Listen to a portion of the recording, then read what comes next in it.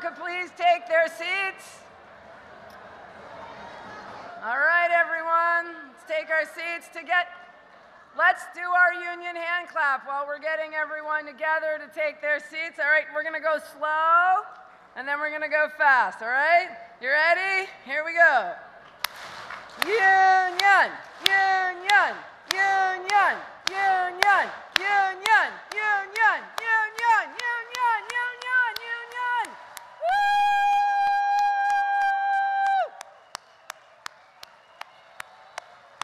All right, please be seated. So, this is my last opportunity to thank you for your commitment, for your leadership, and to remind you it's up to us to step up in 2024 and beyond. Are you with me? All right. At this time, I'd like to call up Elena Newman, a guest room attendant at the Mandalay Bay in Las Vegas, here to introduce our special guest.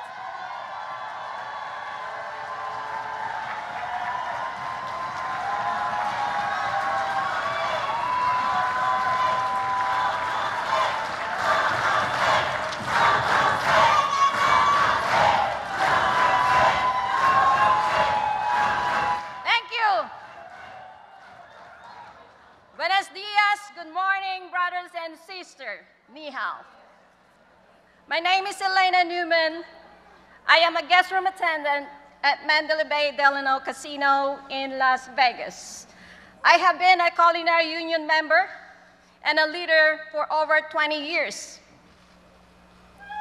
I'm so proud to be here today to introduce the Vice President, Kamala Harris.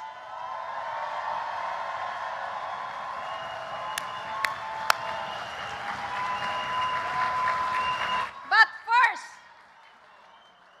I wanted to say that the Biden and Harris has always our back and supported our union.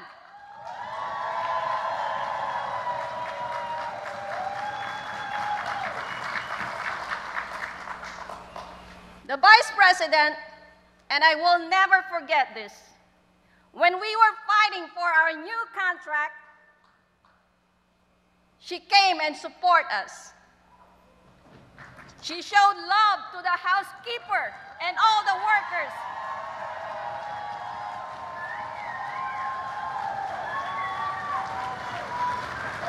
And we won the best ever wage increase, and she celebrated with us.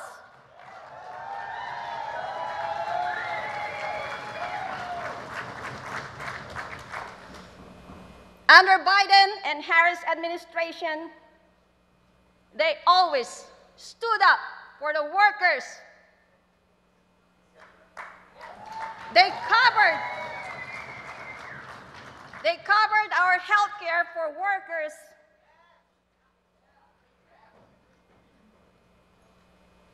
during COVID-19 pandemic. And that is across the country. And that is so important for all the workers and our family.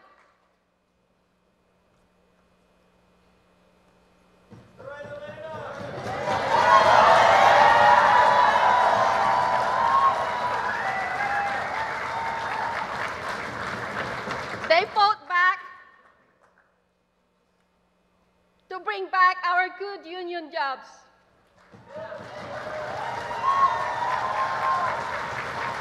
And rebuild our economy. When the COVID is over. And that is great for the workers. They protected the workers' rights in tribal casinos, and that is awesome.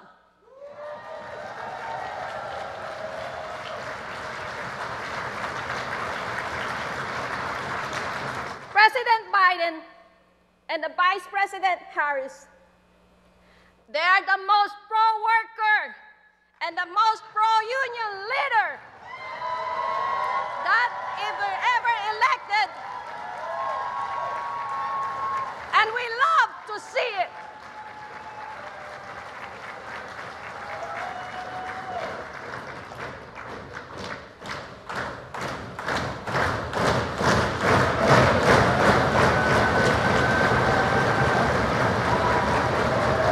The fight for the workers and the support for our fights. Our Vice President Kamala, she moved to hotels in order not to cross Unite Here Local 11 picket line in Los Angeles last year.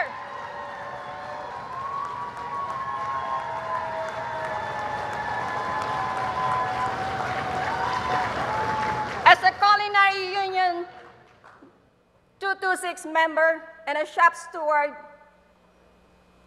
I'm so proud to introduce to you the Vice President of the United States of America, Kamala Harris.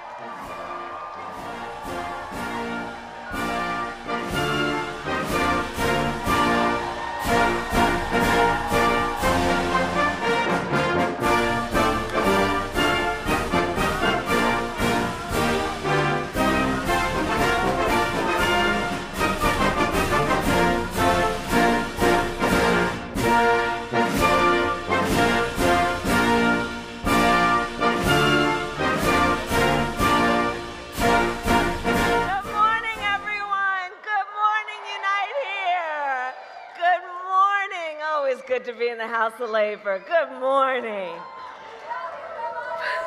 And you know I love you.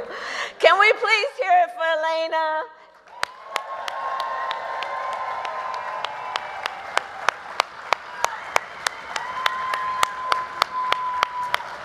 What an extraordinary leader. I, you know, I being, you and I being together with all of the other members um, in Las Vegas and that early day when we didn't know how it was all going to turn out, and you showed such strength as you do every day. But you know, these are moment, moments of crisis, moments where we don't know where things are going to end up. Really do reveal the strong among us, the leaders among us, and Elena is one of them. And I thank you so very much. So it's good to be with everyone. Have a seat, please have a seat, Um, and to unite here, President D. Taylor, the former President D. Taylor, I thank you. I know you're here somewhere. And I want to thank you for your friendship and decades of leadership in the labor movement. And of course, we all know, Dee, I mean, your strength and determination has improved the lives of countless workers around our nation. So thank you, Dee. And to President Gwen Mills.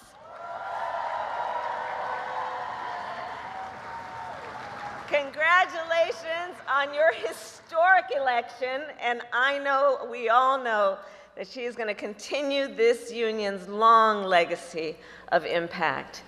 And finally, to the members of Unite Here, I thank you for everything you do for our nation and for your unwavering support of President Biden and me. You know, in 2020, in states like Georgia, Nevada, and Arizona, it was you, it was the members of this union who energized, who organized, and mobilized. It is because of your work and your support that Joe Biden is President of the United States and I am the first woman elected Vice President of the United States. I'm really clear about how we got here. And so, you know, many of you know a bit about my background. You know that my parents met while they were active in the civil rights movement. And so when I was young, they would take me to marches in a stroller. And from a very young age, then, I learned that when people stand together, when we use our collective voice, when we stand in solidarity, we can drive extraordinary change because it is we who stand together as the collective who have the power and the ability to see what can be, unburdened by what has been. And my entire career, like everyone here, I have been guided by a fundamental belief then in the power of the collective. A belief that has also, of course, guided the work of Unite here from its earliest days. So, for the press in the room, I'll give you a little history lesson. More than 100 years ago, in Lawrence, Massachusetts, tens of thousands of textile workers, many of them women, came together to demand fair pay and safer working conditions. For months, in the cold New England winter, they stood together. Workers of all backgrounds, including immigrants from Italy and Poland and Germany and dozens of other countries. Many who did not speak English, but spoke the language of solidarity as they stood shoulder to shoulder. And of, that, of course, all that is true today. And that legacy is strong. And together, then, 100 years ago, they fought, and together they won. And in the decades since, the workers of Unite Here have taken on some of the most powerful corporations in our nation. From Big Pharma to the hedge funds, which took over casinos and put profits over workers. And you have won. You've won fair pay, better benefits, safer working conditions, and protection against discrimination and harassment. Through the power of the collective, you have transformed millions of jobs into middle class jobs, jobs that come with the dignity that all people deserve.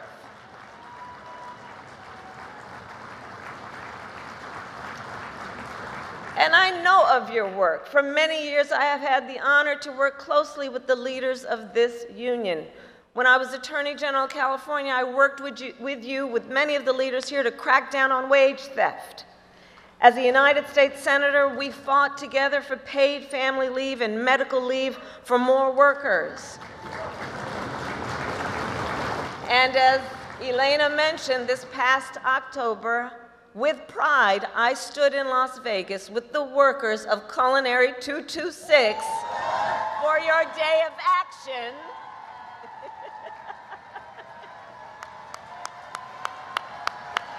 oh, for your day of action. And again, 226.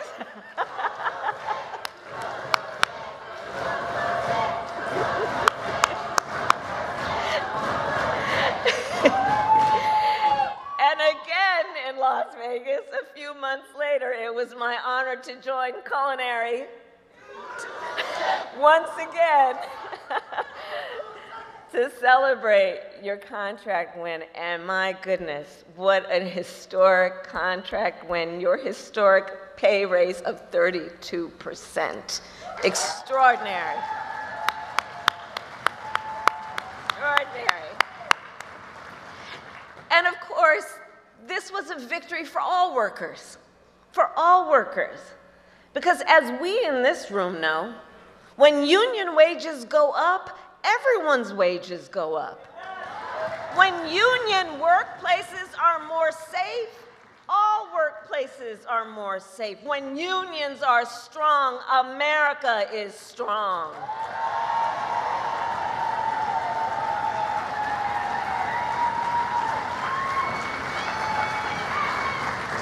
And President Joe Biden and I are proud to stand by your side. So together, together we have fought for affordable health care, knowing health care should be a right and not just a privilege of those who can afford it. We together, together we took on Big Pharma and capped the cost of insulin at $35 a month for our seniors. And now, because of our work together, Three of the largest drug companies in the country are capping the cost of asthma inhalers from hundreds of dollars each to just $35 each.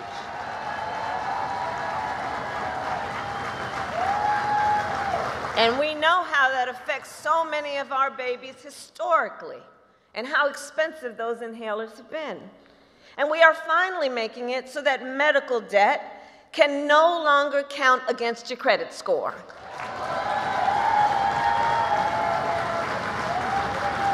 Which means medical debt can no longer get in the way of someone's ability to get a car loan, to get a home loan, to get a lease for an apartment. Because I don't need to tell anyone here medical debt. Well, most people come by medical debt because of a medical emergency. They didn't ask for it, they didn't save for it, and it happens. And then they're out tens to hundreds of thousands of dollars. And the way it has been working is it can count against somebody's credit score. Well, your credit score is supposed to be a measure of whether you are financially responsible. It doesn't make any sense that you would cause somebody to take a hit to their credit score for a medical emergency, and that's why we're getting rid of that.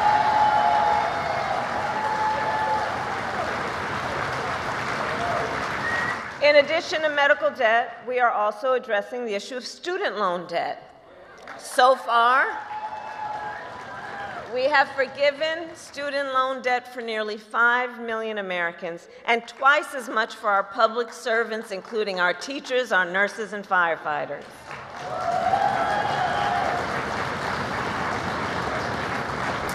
So, unite here. I stand here as we are 137 days away from the most important election of our lifetime. And there is a very clear contrast between who we have looked out for and who the last administration looked out for. Whereas the last administration gave tax cuts to billionaires, we gave tax cuts to families with children through the child tax credit. And cut the rate of child poverty in half when we did it. We are also proud to lead the most pro union administration in the history of America.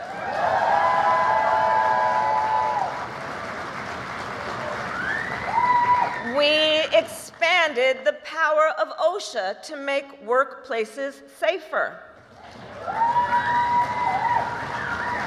As head of the White House Labor Task Force, I have led our work to eliminate barriers to organizing in both public and private sectors.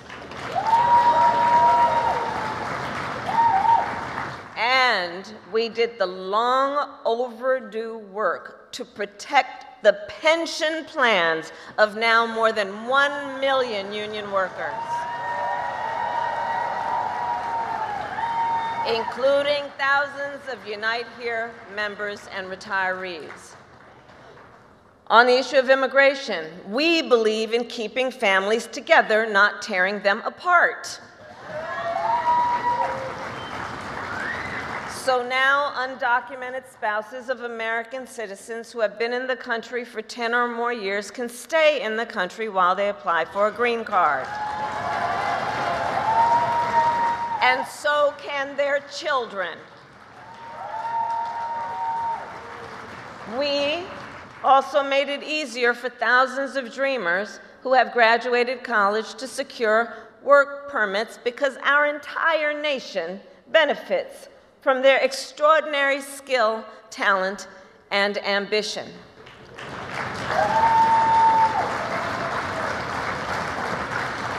So, the bottom line is that in all we do, President Biden and I are guided by the belief that we work for you and we will fight with you, alongside you, and for you.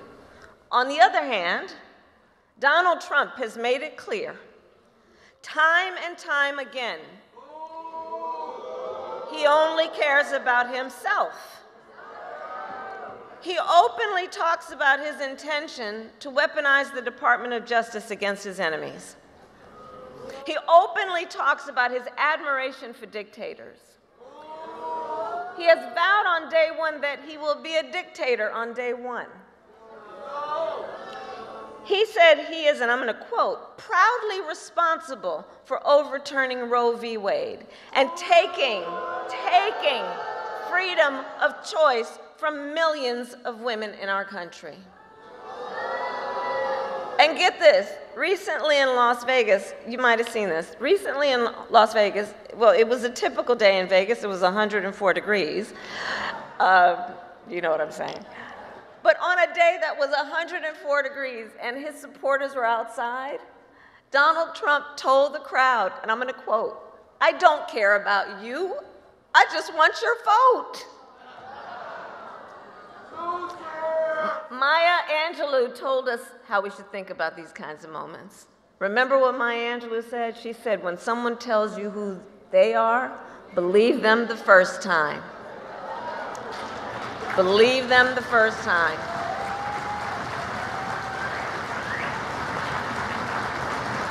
So we see what's happening.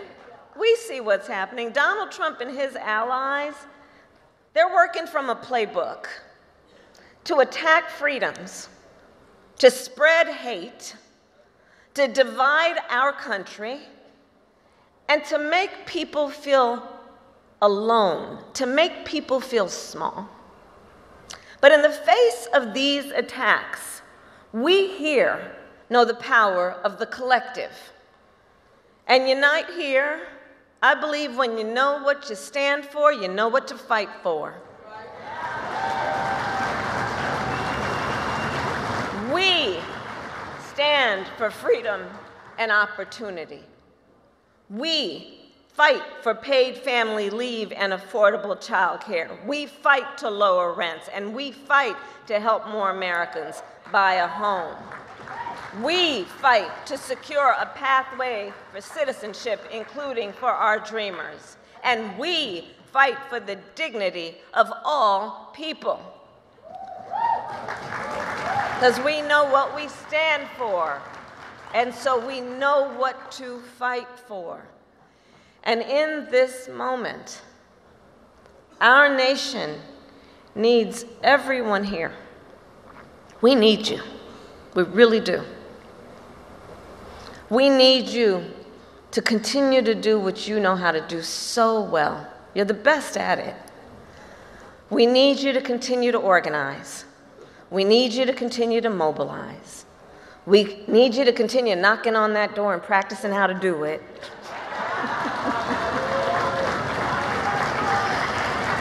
And we need you to make your voices heard.